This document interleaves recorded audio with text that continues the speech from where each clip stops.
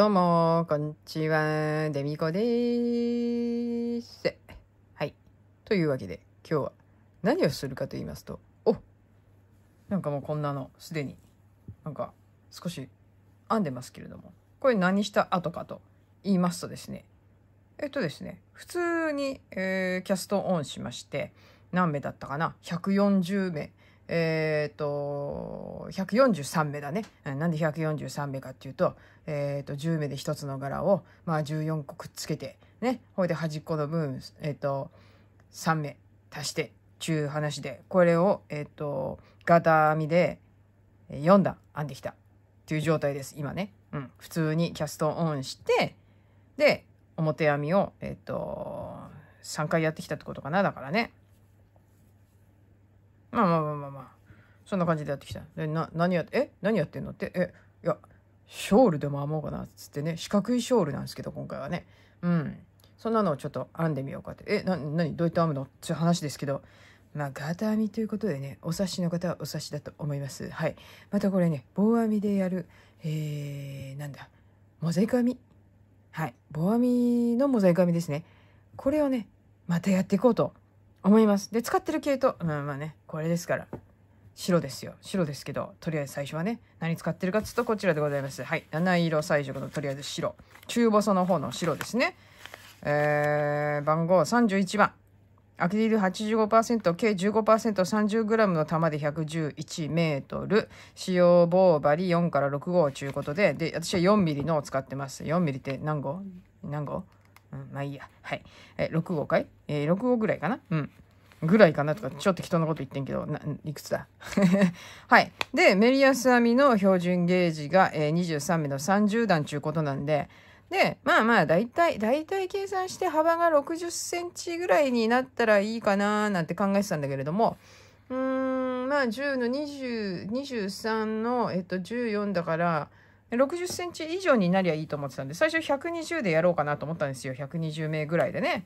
120名ぐらいで、えー、やると2612の、で、そうするとちょっと60センチに満たないかなと思ったので、じゃあ140名だっていうことで、そしたらまあ大体そんぐらいいくんじゃないかと。ね。まあまあいきそうですね。そのぐらい余裕でね。はい。ね、それで140。で、143名。ちゅうことで、まあ適当に始めてるわけでございます。はい。はい。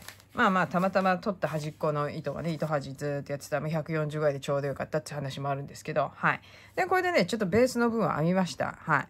あの、ガーター編みで、えー、3段、4段、トータルで、え作り目合わせて、えっと、4段っていう感じに今なってます。はい。で、これどうするかっていうとですね、まあね、どっちに置いとくのがいいかなと思いつつ、あと1段。あもうかどうしようかちょっと迷ってるんですわ。ね。うん、どうしようかな。ね。まあ、編まなくてもいいかな。はい。編まなくていいや。はい。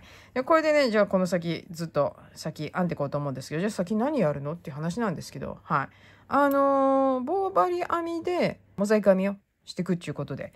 で、どんな風に入れていくのっていうね。これ紫使います。まず最初に紫。七色彩色、中細の、この紫。えー、色番号38番ですね。はい。こちらをまず使って、で、えっと、紫を使って、え、ー、と、入れていくんですけれども、で、最初、どんな模様にしていくかっていうことなんですけど、最初はですね、格子模様。格子模様を入れていくんですね。で、どっちの方の格子にするかすると、白の格子にするんで、でまず、だから、これを、最初端っこは、ね、こう置いて、端っこはまず普通に編みますね、一つね。はい、一つ。通に、ちょっとなんか糸が割れてね、はい、編みます。で、編んだらですね、じゃあ白の格子にしてくんで、じゃここからね、モザイク編みの編み方っていうことになってくんですけれども、まず、残す糸、ね、残すっていうか、モザイク編みで引っ張り上げる糸ですね。はい、引っ張り上げていく糸。白です。その糸をまずずらしますね。こうね。移します。はい。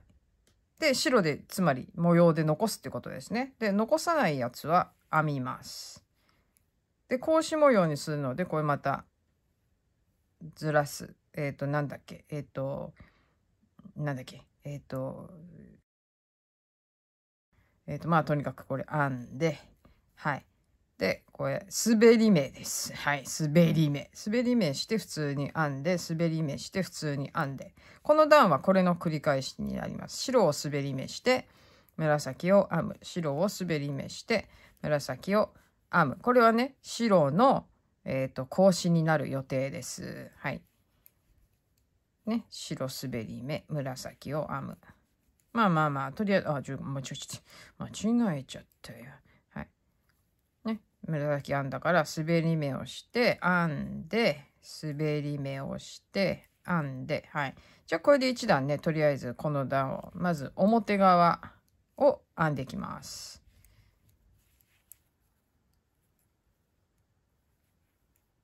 はい、とりあえずこれで1段編んできました。1段っていうか、表目ですね。表の段を編んできた感じ。で、これから裏を編んできますね。はい。じゃあ、裏をどうやって編んでいくかっていうことなんですけど、もう簡単ですよ。ね。簡単です。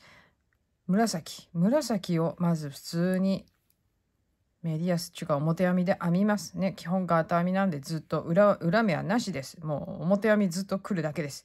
で、え、じゃあこれどうすんの？これどうすんの？これどうすんのってことなんですけど、こういう糸手前に持ってきて滑り目するだけです。はい。で、これは向こうにやって普通に編む。で、これ手前持ってきて滑り目。で、そしたら紫は編む。白は滑り目。で、紫は編む。要は今編んでる糸の、えー、部分は編んで、そうじゃない方の糸は滑り目。で、これは編む。これの繰り返しです。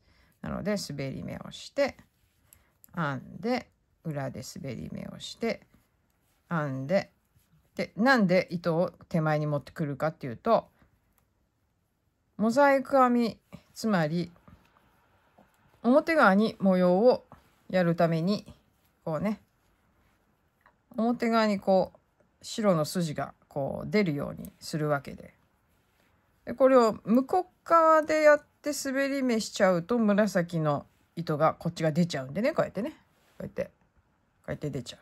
これでこうやって、ね、これでこうやって編んじゃうと、こう筋の、出したいこの白の筋の上にこうやって紫の糸が乗っちゃうので、後ろにね、後ろっちか手前側に、こっち側に持ってきて滑り目をするっていうことですね。はい。じゃあこんな感じでこの段をまた1段裏裏目をね裏側の3段目裏側ですねを編んでいきます。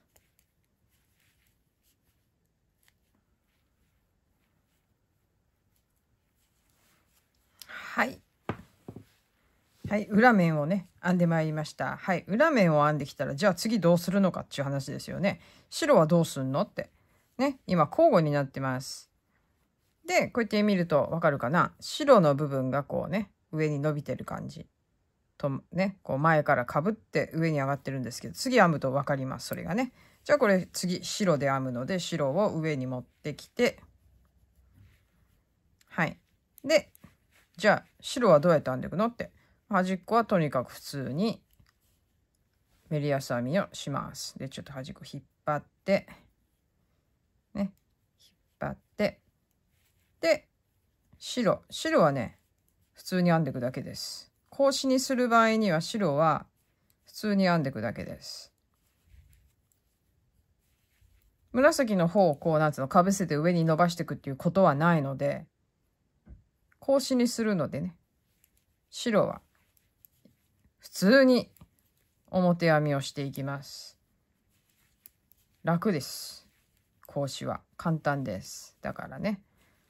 じゃあどんな感じになるのかってじゃあもう一回これね息を編んでいきますね。こうね表面を。表面を。とりあえずこれでまたずっと編んでいきます。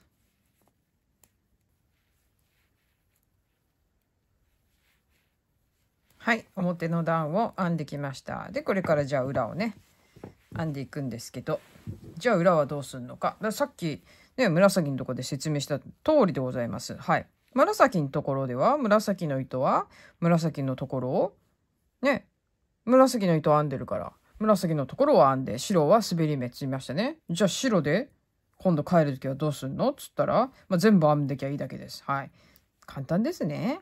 この格子模様の場合は、ね、あのー、格子をする方の、四角ですね。今回、四角の部分になる白い方ですね。それ普通に編んできゃいい、その段は。で、えっ、ー、と、四角の中心になる色の部分は、交互に編んでいった。後、また交互に戻ってくんですけど、あのー、滑り目と表目で編んでいくのと、うん。で白の段はもう普通にあのあれですね。だからガタ編みする感覚で表をメロ、えー、なんだメリヤスで編み裏もメリヤスで編んでくるだけです。ひたすら。それだけの模様ですね。とりあえずは。でとりあえずこの段もねえっ、ー、と端っこまで編んでいこうと思います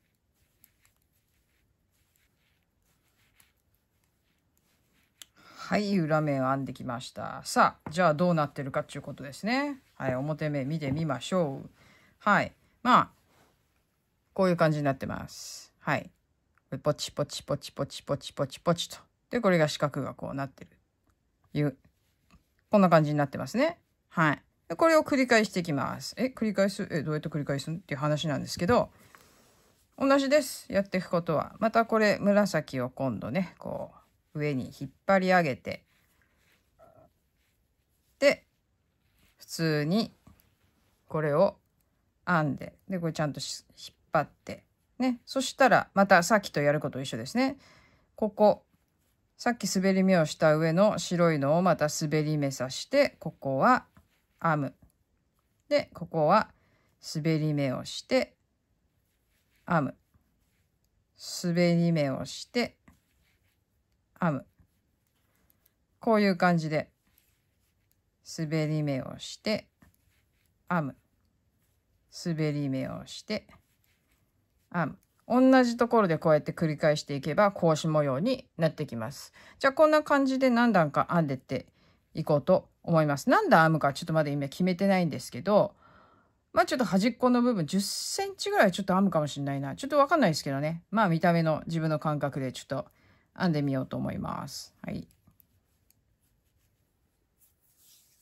はい。というわけで、10センチほど編んでまいりました。はい。いや、なんで編んだかっていうとですね、20ね、5段ぐらい編んでんの。この、この模様、模様が始まったところからね、数えて、1、2、3、4、5、6、7、8、9、10、11、12、13、14、15、16、17、18、19、20、21、22、23、24、25。25段編んできたんだけど、まあ、適当っちゃ適当なんですよ。でね、なんで25にしたかっていうと、ここから編んでいく柄の一つのパターンね、柄が一つ編み上がるまで21段、20段かな ?20 段の柄になるのかななので、それよりちょっと長い感じっていう感じで、まあ言ったら適当なんですけど、はい、適当です。はい。適当なんですけど、で、さて、じゃあね、こっからどういう柄を編んでいくかってことなんですけど多分これはほぼこの棒針編みでやるえっ、とモザイク編みの割とベーシックな形なんじゃないかなと思うんですけど、はい。でちょっと今回それをやっていこうと思います。まあもちろん自分で書いたんですけど、似たような、えっ、と、柄はね、多分いろんなところで見つかると思います。はい。で、こんな感じの柄を今回やっていこうと思います。はい。ん？これ何かって話。そう。これは何かって話なんですよ。実は、もともとは、まあ、どういった形でね、柄を入れ始めようかなって考えた時に、最初は、ボーダーでね、来てね。で、それでこうやって柄を入れてこうかなと思ってたわけ。だから適当に、まあ、なんていうのかな、こう、ボーダーのところでこの、こっち側の柄が始まるところから書き始めたんだけど、結局、こっち、格子ね。格子の方で始めたので、格子からこの、こっちの部分がつながっていくように、要は、これで言うところの10段目まではこう入んない感じね。ここはね。ここ。今、今から編んでいくのは、この11段目からっていうことになります。で、なんでここ11段目にバッテンバッテンバッテン入ってるかっていうと、続きでずっと書いてるところちょん切っただけだから、うんと、なんていうの、なんだろうな。うーん、ね、柄を始める仕様になってないわけですよ、ここの、ここが。11段目がね。だからそれの、えっと、修正で、こう、編む、編み入れるところ。要は、このカラーで編むところ。白じゃなくて、カラーで編むところをバッテンにして。で、カラーでなってるところね、今ね。こうなってるけど、これカラー見ない。ね、ここは青い糸、つまり今回は紫の糸ですけど、紫の糸で編んでいくところなんですけど、このバッテンのところを編んでいく。で、バッテンがついてないところを滑り目していくっていう形で柄を入れ始めようと思います。はい。そんな感じで始めていきます。なので、なんだろう、えっと、ちょっと見づらいかもしれないですけど、ここは、ま、訂正したっていうことですね。訂正した感じで書いてあります。で、この柄をね、ちょっと今からじゃあ入れていこうと思うんですけど、まあ、全部説明するかどうかちょっとわかんないんですけど、まあ、とりあえずね、やれるとこまでやっていこうかなという感じでございます。はい。はい。で、糸がこっち来てるから、こうでな、こう持ってって。はい。じゃあ、次は、えー、紫で編んでいくわけなので、白はこう持ってといて、手前側に置いといて、はい、紫。紫は編んできます。で、どうなってるかっていうと、まあ、バッテンバッテンになってるんで、最初2つは普通に編みます。編みます。はい。はい。で、ここ青いですけど、青いけど、これは訂正したやつなので滑り目。で、あとは交互に編んでいく。ずっとねここ端っこ2つ編んでいくだけであとは全部交互に1個ずつ編んでいくだけなのでえっ、と滑り目して編んで滑り目して編んで滑り目して編んあれ間違えた滑り目滑り目滑り目して編んで滑り目して編んではいこんな感じですね。これでずっと編んでいくだけです。端っこだけ2個連チャンで、えー、編むだけですね。なので、こうやって編んでいきます。で、今まで編んできたのと、こう、なんつうの、逆っていうか、ここをずっとね、あのー、格子でこう編んできたのの、その編み入れるところがこうずれる感じになりますね。はい。じゃあ、これで一段編んでいこうと思います。お、また編んじゃった。滑り目だっちゅうの。はい、最後は2つ、えっ、ー、と、普通に編んで、表の段が終了。で、ここから裏。で、裏は、はい。この、今は紫の糸で編んでるので、紫のところを編む。で、白いところは、えっ、ー、と、裏なので、こっち側に持ってきた状態で滑り目。で、編んで、滑り目編んで滑り目この繰り返しですね。はい。じゃあこんな感じでダーッと裏面を編んでいきます。はい。裏を編み終わりました。はい。さあじゃあ裏を終わったから今度表行くんですけど。はい。じゃあ表。このこの絵でいくと12ですね。12って書いてあるとこ。最初一つ編んだらここを張り上げて。で、えー、だから滑り目ですね。滑り目をして、で、普通に9つ編んで、で、また一つ滑り目をする。棒針で編むモザイク編みと、かぎ針で編むモザイク編みの違いっていうのはここだと思うんですけど、普通だったら、かぎ針の場合はこう白で編む時はもう白とにかく編んでればいいと。ね。編んでればいいという感じだったんですけどあのー、上からかぶせるっていう感じじゃないですか。棒針の場合は下から引っ張り上げるっていうなんかちょっと違うんだよね。だから下のここの部分がないと、まあもちろん引っ張り上げられないんだけど、まあぼ、うん、そうだね。かぎ針も言ったら下のここは準備してないと下ろせないからね。まあ言ったら同じなのかもしんないけど、もちろんこの、なんつうの、引っ張り上げたり、えっ、ー、と、かぎ針の場合はこう上から、えっ、と、拾っていく、その拾う目をね、作んなきゃいけないのは同じなんだけど、えっ、と、模様を作っていく方向としては、ここにある部分を引っ張り上げる、ね、引っ張り上げるのが棒針で、かぎ針の場合は上から引っ掛けて、こう、なんつうのここを引っ張り上げるんではなくてね、上からこう糸を持ってきてこう引っ掛けてあげるっていうね、まあそんな違いなのかなっていう感じ。でもまあ基本的な動作としては、引っ掛けてあげたり、引っ張ってあげたりっていうね、その元々のね、この上から来るとこの関係あるこの目っていうのはちゃんと用意しといてあげなきゃいけないなっていうのはちょっとやっててね、ああ、そういうことかって思ったんですけど、じゃあまあ白いをね、白、ここのところ入れていくけども、ここの場合は1つ編んだらここをえっ、ー、と7、えー、滑り目して9目普通に編んで1目滑り目っていう感じの入れ方になってきますね。はい。じゃあとりあえずやるわ。ね。まず1つ普通に編んで、おっとっと、割れたぜ。普通に編んで、で、ここは滑り目。で、9つ普通に編む。1、2、3、4、5、6、7、8、9とね。で、そしたら滑り目をして、また9編んでいく。この段はこんな感じ。シンプルですね。はい。ね、ちょっとここ端っこちょっとこれちゃんとこう引っ張っといてね、ちょっとキューッと、あの、なんとなくこう、同じような感じでこう必ず締めるようにして、で、後からこう上に持っていくときにね、はい。いい感じのテンションがかかってる感じで締めておかないと、ちょっとね、後々都合が悪い位置がガタガタになっちゃうんでね、ここはちょっと気をつけて、気を使ってあげるって感じかな。うん。これで9編んだら123456789編んだら滑り目でまた9編んでこれの繰り返しでこの段編んでいこうと思います。クリンかな？クリンだね。はい。一番最後。こうだね。はいはいはいはい。こんな感じで表が編めたので、これも同じように裏を編んできます。裏も白なので、白は編んで、紫は編まずに、えー、すっ飛ばしてで白をひたすら編んでいく。紫は滑り目っていうことですね。はい。じゃあこんな感じでずっと編んできます。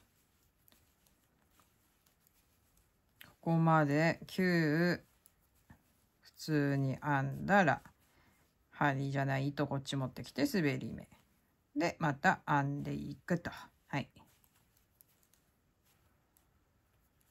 はいはい、これで裏面が編めました。はい。じゃあ次の段ですね。次の段をどう編んでいくか。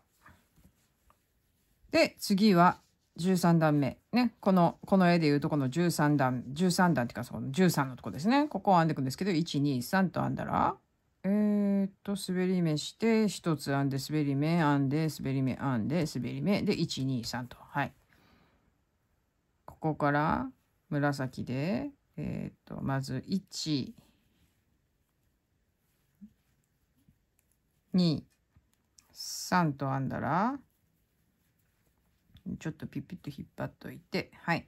で、1個滑り目、1個編んで、1個滑り目、1個編んで、1個滑り目、1個編んでと、これを3回繰り返して滑り目したら、また1、2、3ですね。はい。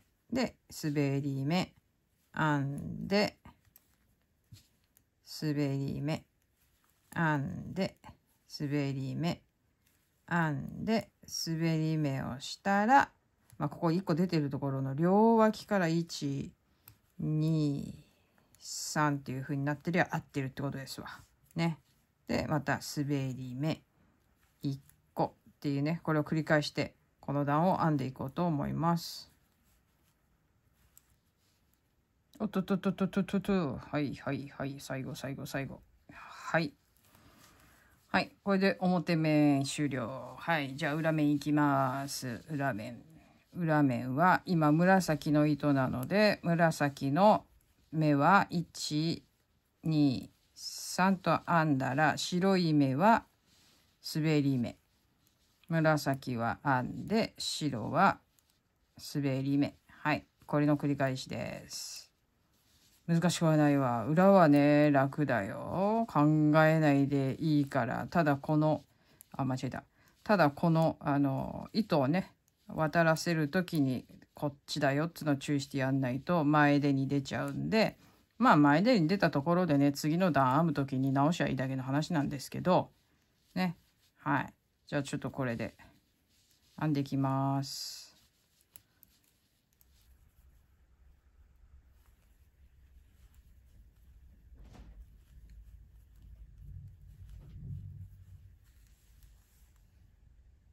地震今地震があったな。大して揺れてないけど。いやいやいやいやいやいやミシッつってね来るよね。大丈夫かな。まあ続けますわ。はい。というわけで裏面が終わったので次白いきますよ白。最近多いよね地震ね。関東地方ね。千葉中心に。ね。なんだかちょっと嫌だけどね。はい。じゃあ次14番。14段目いきます。2つ普通に編んで滑り目して1234567で滑り目1つ編んで滑り目で1234567と普通に編んでいくと。はい。じゃあここは2つ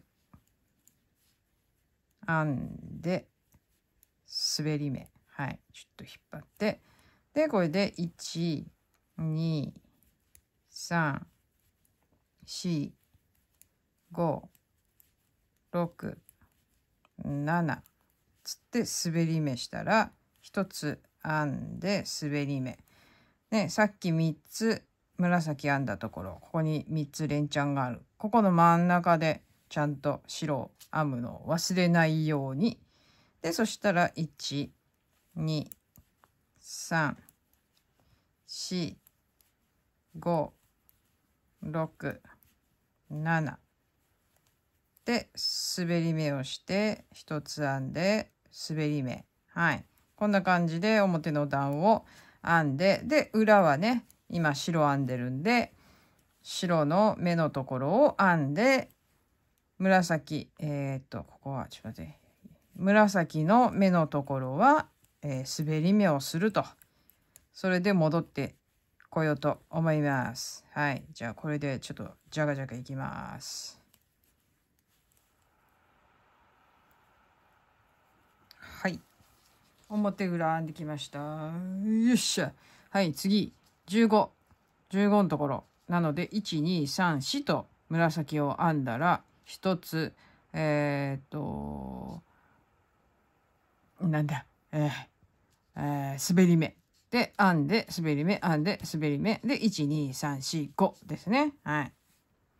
ちょっとずつ、ちょっとずつ模様が出てくると思うんですけど、さあ、どうなるのかな ?4、4、最初は4、1、2、3、4と。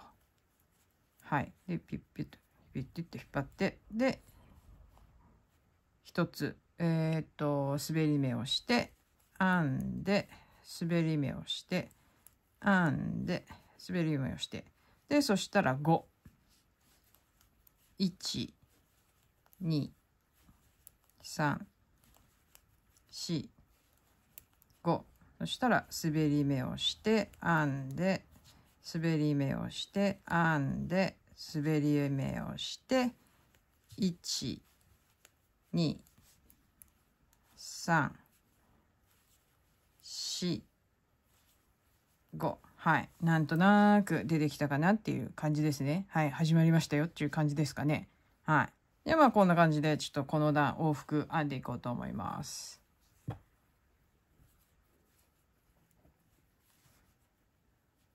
はい。表裏編んでまいりました。どんな感じかな、うん、まだ柄はよくわかりませんな。はい。で、次が123。これ16ですね。123編んで1つ、えー、っと、滑り目をして、12345。で、滑り目をして、123滑り目。ね。こんな感じ。こんな感じで、えっと、まあ、交互にね、色を変えつつ、柄を入れていくと、さあ、じゃあどうなっていくのかなと。まあ、徐々に徐々に柄が出てくると思いますがそんなこんなでこんな形でね123ね3でちょちょっと引っ張ってじゃあこんな感じでねえー、っと段をね進めていきたいと思います。はい。でこんな感じ。でこれで123かな。1 2 3そのうちねこう何て言うの？あのー、このこれを見ないでね柄を見て編めるようになりたいよねっていう話でね。2 3 4 4、5で、こうやって1、2、3とね。まだまだちょっとね、慣れてないですからね。柄を見て編むっていうのにちょっと時間かかるんですよ。考えちゃうっていうのをこう見てじーっと考えて、えーとだからっつってね、こう考えて編む感じに、えー、今んとこまだそんな感じなんですけど、まあでもそのうち、できるようになるんじゃないかなと期待をして一生懸命編んでいこうと思います。じゃあ、どこまで編んどこうか。とりあえず、このしましま模様が全部編み切れるところまでちょっと編んでてみようかなと思います。はい。どんな感じになるのかなっつったって、なんか変な感じになったからってこう編み、編み直すっちゅうのはちょっとないと思うんでね、このままね、ひたすら編んでいこうと思います。はい。というわけで、こんな感じで編んでまいりました？はい。こういう感じになります。いや、なかなか可愛いんじゃないかななんて思ったんだけど、ちょっとね、ああ、そっか、ここがこういう感じになるのかしらと思ってね、どうなのかしらね、ちょっと、この先もずっとやっていかないとわかんないんですけど、最終的にこの縁をね、どうするかっていうのはまだ決めてないんですね。このままにするのか、こうやってちょちょちょちょってやると、まあ、まっすぐになるんで、でも編み方によってね、まあこういう感じで、まあ、えっ、と、広がったり、でもここ一本縦に入れた方が良かったのかな、なんて思いつつも、まあでもやってみないとわかんないことなんで、もしかしたら最後ここ拾ってね、縁を編むかもしれないので、まあまあちょっと様子見ですね、でもね。うん。まあまあ、でもこれ何するかっつったら自分のなんつったらいいのかな、肩掛けのショールみたいなやつにする予定なので、まあ必要ないかもしれないし、それちょっと編んで、編み終わってみないとわかりません。はい。なのでこのまま、えー、進めていこうかなとは思うんですけれども、ね。こうやって見ると、まあ可愛いんだけど、まあここに筋があってもよかったなとかね。まあ編んでみないとわかんないんだよね、そういうのね。うん。あとは全体の絵を描いてみないととかね。全体の絵描いてないからね。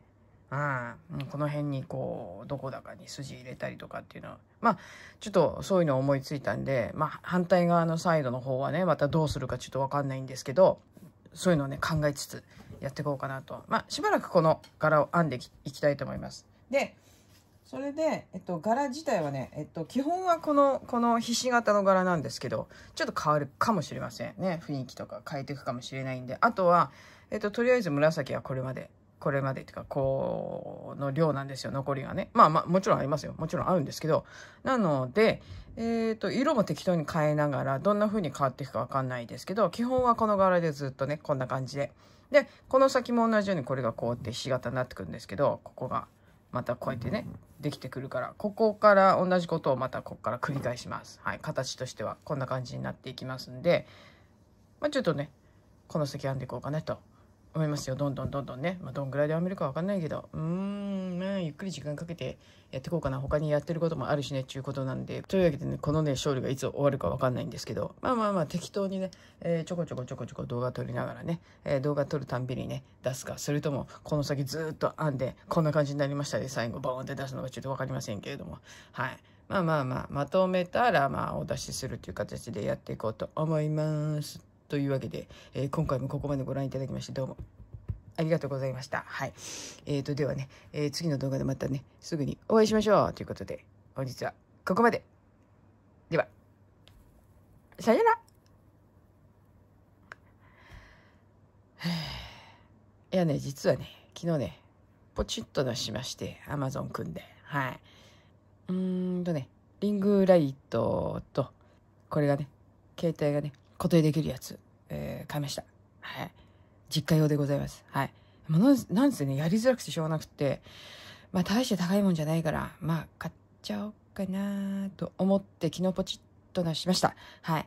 今回は卓上に置くタイプのやつを使ってみようと思ってね。うんうん。あえてなんか、こう、なんつうの、同じ、全く向こうと同じ環境を作り出す必要もないし、なので、もうちょっと気楽にね、あの、こそっと、こそっとっていうか、パスッと、えっ、ー、と、できるような感じで、卓上のものにしました。そしたらね、移動もね、簡単にできるんでね、うん、上でやってもいいし、下でやってもいいしっていう感じでね、うんうんうん。なので、えっ、ー、と、どんなものが来るのか楽しみでございます。はい。じゃあね、バイバイ。はい。というわけで、今日はいきなりの、えー、おまけのおやつタイムでございます。はい。いやいやいやいやいや。いっぱい食べるものあんのよ。おまけがね、おやつタイムばっかでほんとすみませんって感じなんですけど、まあ日本にいる間はね、ちょっと許してちょうだいっていう感じでね、まあ、毎回ってわけにはいかないかもしれないけどね、まあ、できる限り取っていこうと思ってるんですけど、で、今回は何かって言いますと、こちらですね。はい、こちらご用意いたしました。はい、なんじゃこりゃ。はい、なんじゃこりゃでございます。はい。まあ、ロールケーキっぽいよね。あ、なんか、ちょっと、ちょっと、あれだけど、ちょ、ちょ、ちょっとね、ちょっと、あ、あのー、あれなのよ。ちょっとこここの辺ちょっとへこんでたりするんでちょっと私さっきつまんだからなんですけどっていうのはこれ普通にまあくっついてるわけですね。2個あったから。普通にくっついてたのがクリームメーンがちょっと大きいの広いので外すのにね手使っちゃいまして。これちょっとへこんでます。はい。まあまあまあまあ気にしないでください。はいはいはい。はい。それでねこれ何かっていうとですね。まあお見せしますわ。ね。これ。これですよ。えーとね。これ。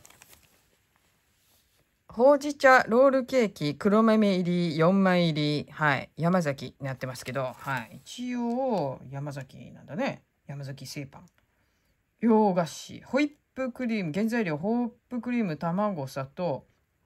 黒大豆、蜜漬け、小麦粉、乳化油脂、植物油脂、大豆粉、氷茶粉末、酒パンダ、ということで、これで、えー、塩、ちゃん、ネギと、ちゃん、ちゃん、さん、えー、VC の VC、フォロー、えー、ネギと、大豆粉ってね、書いてあるんだけど、これね、うーんとね、これね、あの消費期限うん3月2日。え今日はね3月3日。はい、3日。あ気にしません。1日ぐらい。全然平気です。はい。というわけでね。まあまあまあまあ。えー、3月3日ってことは？えひな祭りじゃんって話なんですけどひな祭りってことに気が付いたのはつい数分前でございました。はい。つい数分前に気が付きましてあ今日3月3日じゃんと思って。うん。で、まあそんなこんなでね、今日はね、このものを食べていこうと思うんですけども、どうなってるかっていうとですね、まあほうじ茶ロールケーキってことなので、まあほうじ茶の感じの、これでクリームをほうじ茶で真ん中にこう車飴がこうね、あの、ポツポツっとなんか入ってるんですけど、ほうじ茶のお菓子ってさ、ここ15年ぐらいかな、バーっと出てきたの。えっとね、私がね、初めてね、ほうじ茶？と思ってびっくりしたのが、京都にね、うちのね、家人と行ったんですよ、2008年に。で、その時にね、ほうじ茶ソフトクリームつのを見つけまして、で、え、何？ほうじ茶ソフトクリームってほうじ茶って味するってなんか、まあ、まずそう思思ったんですよ、最初ね。ほうじ茶って何？え、抹茶ほどのなんか味はないんじゃないの？ほうじ茶って、え、何？え、アイスになる？と思って食べてみたらびっくりちゃんとほうじ茶の味がするってことでそれからあほうじ茶っつのもいけるんだと。そうするとね紅茶ものみたいな感じでほうじ茶もねまあ相当強くなんて言ったらいいのかな出せば、え、ほうじ茶の香りっつうんですかねちゃんとするんだなと思ってその時はびっくりして2008年だったと思います。2007年だったかな8年だかちょっと待ってね思い出す。えっ、ー、と2000えっ、ー、とね7年8年ちょっと待ってね。2007年えあそうだそうやって考えればいいんだね。2005年2006年2006年にうちの母ちゃんが亡くなって2007年2007年です。はい。うちの母ちゃんのあの命日があの命日とか亡くなった年が結構規定になってるっていうかね、うん、あの分かりやすいんですよ、うん、なぜならねお葬式の時にはうちの家事がね仕事でね来れませんで、えー、えー、急だったし、えー、でいろいろ仕事とあとうちちょうど引っ越しが重なっちゃってねあまあその時の話をちょろっとするとえっ、ー、とねあまあ食べながら行こうかはいまあこんな感じでじゃあねちょっと一口食べてみたいと思いますよてかすでに食べたんですけどはいぐさっと。あ、二つ？二つ食べますよ、二つ。うん、二つ食べますよ。ちっこいからね、一個じゃね。食べます。いただきます。うん。うん。うん。不思議だよね。ほうじ茶のお菓子ってさ、最初口に入れた時って本当わかんないわけ、なんだか。でも、こう鼻に抜けてく香りでほうじ茶っていうのがわかるっていうね。そういうお菓子なんだよね。そういう、なんて言うんだろう。あの、香りなんだよね。ほうじ茶の香りってね。だから味で、舌でなんかほうじ茶の味って感じるんじゃなくて、鼻で感じる感じなんだよね。私はね、結構ね、ほうじ茶のお菓子嫌いじゃないですよ。うん。美味しい。あ、そうそうそう。で、その話の続きだね。おすすめですよ、これ見つけたらね。うん。まあ、生協で買ったんだけど、普通に売ってんのかね、これね。うん、売ってるのかもしれないけど。うん。ほんでね、ちょうどね、うちの母が亡くなったと、亡くなった時っていうのはね、うちね、引っ越しが加算したんですよ。で、私はだから古いアパートから出てって、で、いろいろ、あの、終わってね、日本で終わって、こう、もう、フランスに戻ってきた時は、新しいアパートっていうね。うん。あ、私ね、引っ越し作業全然やってないんです、その時の。うん。なんか古いアパートから出てって、帰ってきたら新しいアパートっていう状態だったんですけど、で、それがね、2006年のはずなの。で、2007年から私働き始めて、それまでね、母はいつどうなるかわかんないっていうのがあったから、なかなか働く気になれなくって、でもほら、母が亡くなったらもう心配事ないじゃないですか、基本的にね。急に呼ばれるってことも基本的にはないだろうっていうね。いつ呼ばれるかわからないっていう状況はなくなるから、それで働き始めたのが2007年。で、一周期でうちの家人を連れてきて、えっ、と、一周期の法事をね、やったから、で、その時に京都行ってるはずなんだな、二人で。だから2007年ですわ。うん。なのでちょうど20、あ、もう、え、もう7年前に、70、2007、え？に、え、ちょっと待って、に、え、20、何年前？そう、10、だから、違うだろ。え、何年前 ?10?7 年前ってことか。うん。そうだね。で、その時に初めてほうじ茶のソフトクリームっつうの食べた。そして結構感動みたいなね。うん。そこら辺ぐらいから、徐々に徐々にそのほうじ茶のお菓子っていうのを目にするようになったんですよ。で、うん、今は、フランスでももちろん、あの、まあ、日系の人ですけどね、もちろん作ってるのは、やってるのはね、基本的にほうじ茶のお菓子なんつうのは、みんなほら、まだ抹茶抹茶抹茶の人たちだから。でも、ほうじ茶っていうのがフランス人にも知れるようになってきて、で、なんでかっていうと、やっぱり、抹茶ってやっぱりテインってて、えっと、向こうでテインって言うけど、なんて言ったら、カフェインのようなもんですね。はい。で、それが強いもんで、でもほうじ茶はないじゃないですか。ね？ノンカフェインだから。だから、いいっつんで、あの、ほうじ茶もね、結構ね、向こうでね、えー、っとね、評判って言いますか、お店やってると、その、ほうじ茶あるって言ってくる人が結構増えてきたかな、ここ。私が辞める前、数年、3、4年ぐらいで結構かなり増えてきたような気がします。なので、まあ、えっ、ー、と、今の換算すると、7、8年ぐらい前からフランスでも、ほうじ茶っていうものが受け入れられるようになってきたっていうか、うん。なんて言ったって、その、あの、デキャフェって、あの、カフェのカフェイン抜きのやつみたいな感覚で飲めるじゃないですか。カフェインが入ってないからということでね。うん。だから結構夜とかお食事来る人なんかは、ほうじ茶とかっていう人がいたりとか、まあお昼でもそうですけど、結構お茶よりも、えっと、お茶はね、夜寝れなくなっちゃうから、なんつって、ほうじ茶がいいなんつってね、ね、ね、ね、ツーブルストっていうか、ね、ツーブルって言っちゃいけないか。ね、でもそういう感じでほうじ茶結構ね、あのー、あれですよ、市民権を得てきたっていうかね、まあ一部の、その日本好きの人たちの中でっていうことだと思うんですけど、普通の人はわかんないですからね。うん。うん。おいしいおいしい。この黒豆がいいよね。黒豆好きなのね。うん。黒大豆っつうの？まあ、それね、正月にね、おせちを作ってた時期あるんですけど、絶対黒豆は似てましたね、やっぱりね。大好きで。うん。もうね、黒豆大好きだわ。まあ、ちなみにうちのあの家事ももちろんなんですけど、ほうじ茶好きでございます。はい。なので、緑茶はほとんど飲まないんですよ、うちの家事ね、家でね。ほとんど飲まないんですけど、ほうじ茶入れると、まあ、じゃ欲しいっつってね、うん、飲むことありますよ。やっぱあれじゃないですか。味もなんか香ばしいし、ウーロン茶よりは飲みやすいみたいだね。うん。こんな感じはする。ウーロン茶にはあんまり興味示さないんだけど。苦いっていうか苦味が強いのかな、ウーロン茶の方がね。ほうじ茶の方が味がおやさ、おや、お優しい？ん？優しい？うん。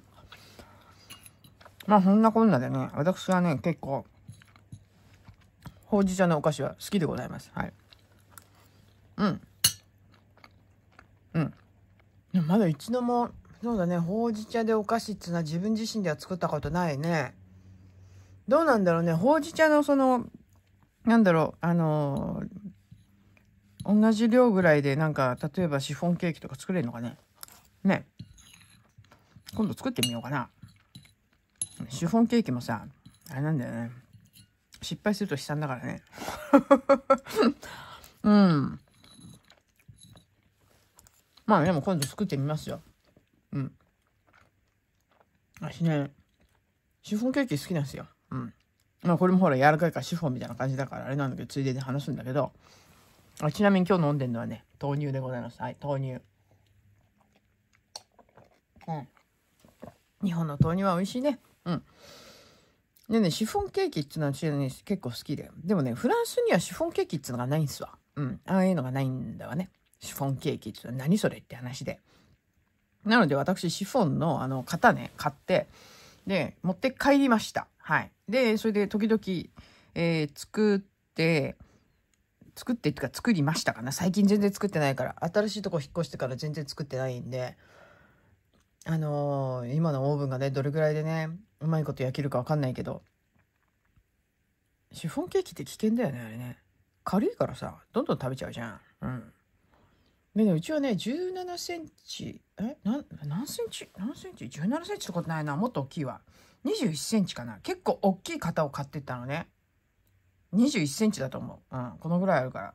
でね、買ってってね、で、シフォンケーキをうちの家事に食べさせたらびっくりしてましたね。なんだこりゃっつって。うん、食べたことなかったみたいで。でね、一時期ね、パリでもね、シフォンケーキのお店ができたんですよ。もちろんやってるのは日本人です。はい、日本人がやり始めたんだけど、その後どうなったんだろう長続きしなかったかもしれないね。まず知られてないっていうのと美味しいんだけど、とにかく知名度がない、シフォンケーキの。だから多分そんなにシフォンケーキ専門でやっちゃったから、それでね、多分ね、もう続かなかったんじゃないかなと思うんだけど、一回だけ食べたことある、そこのお店の。まあ、美味しいけどね。うん。でもな、言っちゃあれなんだけど、美味しいんだけど、別に買う必要ないかなと、自分で作れる人は基本的にシフォンケーキって買う必要ないなってちょっと思っちゃうよね。うん。まあでもね、帰ったらまたシフォンケーキちょっと作ろうかな。ね食べたいな。自分で作って。ほうじ茶の、まあレシピもあるだろうから、ちょっと探してね、えー、シフォンケーキ作りたいなと思います。はい。このふわふわのやつね、こういうの食べるとね、シフォンケーキ食べたくなるね。一番好きなのは何だろうな。うーん。なんだろう。やっぱね、あれだね。あの、紅茶のシフォンケーキが好きかな、結構。うん。その、それ専用にだってあれぐらいのね、缶もね、一缶ね、持ってるからね、お菓子用にね。まあいろいろまたお菓子も作りたいな。新しいとこ行ってまだほぼあのクッキーしか作ってないからね。ほんと簡単なのしか。なのでちょっと焼き焼き菓子っていうその普通のこういうケーキみたいなやつそういうのも作っていきたいな。はあ、まあ日本にいるから言ってるだけっていう話もあるかもしれないけど 向こうに帰ったらっていう条件付きですから。はいはい。あ、まあでもこれ美味しかったですよ。ほうじ茶ロールケーキ。うん。まあ、いつかほうじ茶の、え、ー、と、ケーキ、自分でもね、ちょっとシフォンケーキでも作ってみたいと思います。ということでね。はい。はあ、美味しかった。美味しゅうございました。次はどうしようかな。ね。次はまた動画かライブかわかりませんけども、まあ近いうちにお会いしましょう。ということでね。はい、じゃあね。バイバイ。なんか左手のさ、動きが鈍くない？あ大丈夫か？なんか鈍い気がして。やばいかな。脳みそ。脳みそ働けよちゃんとってね。